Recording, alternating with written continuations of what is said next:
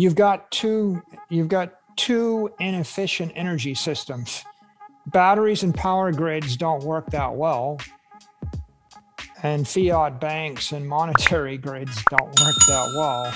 And Bitcoin plus Lightning gives you a battery to store all the world's energy forever without power loss. And the other day, I sent a thousand sats on the Lightning network, and in one second for one sat.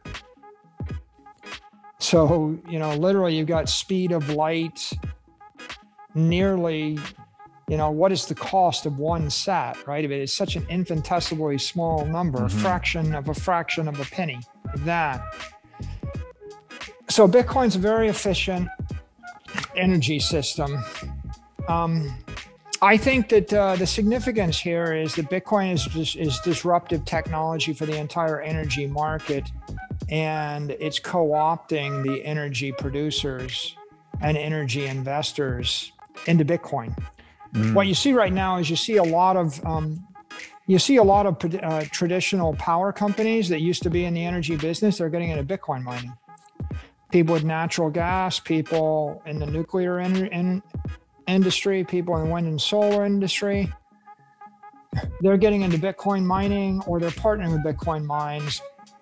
So Bitcoin recruited energy capital, and Bitcoin secures the network with energy capital. Hundreds and hundreds of, of producers of energy are plugged in the Bitcoin network, creating that hash wall. So that's the first layer of security for Bitcoin. And if you're going to attack it, you know, it's no small feat to go and, and collect that much energy. You almost can't, you can, you're not going to collect twice as much energy or as much energy as is currently in the Bitcoin mining network politically, economically, practically. I just don't know how you would do it. So that the second layer, though, is technology. And this I don't think people really understand that well. And when I talk about technology, I'm referring to the to Bitcoin ASIC miners. You know, Bitcoin is a wall of encrypted energy. So the energy is the first part, but the encrypting, the, the encryption, the crypto is the second part, the crypto wall of energy. It's not raw energy.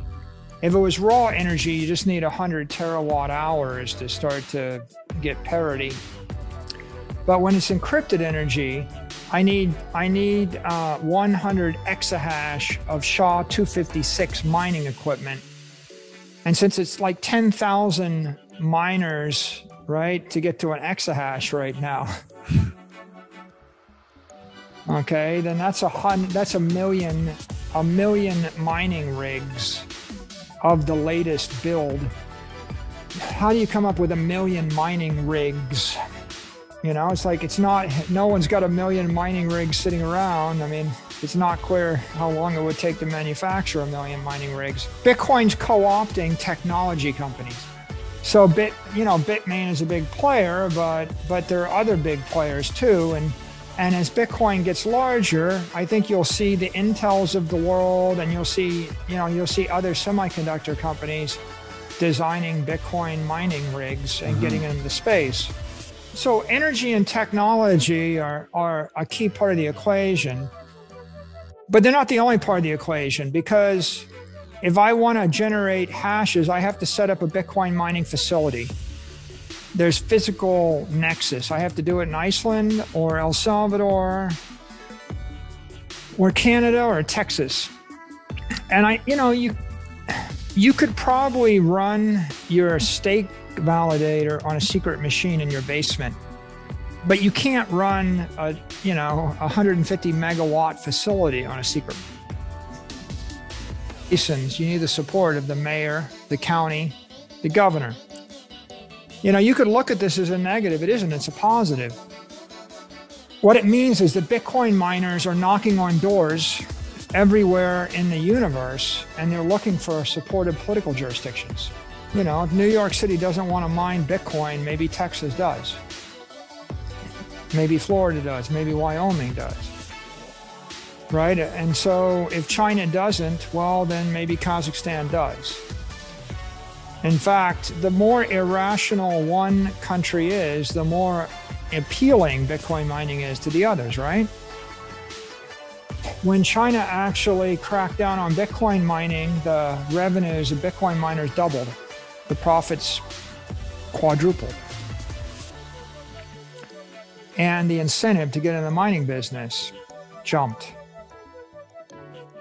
And uh, so, what you have is an interesting dynamic where Bitcoin miners partner with energy companies and they partner with technology companies but they also partner with political jurisdictions and politicians.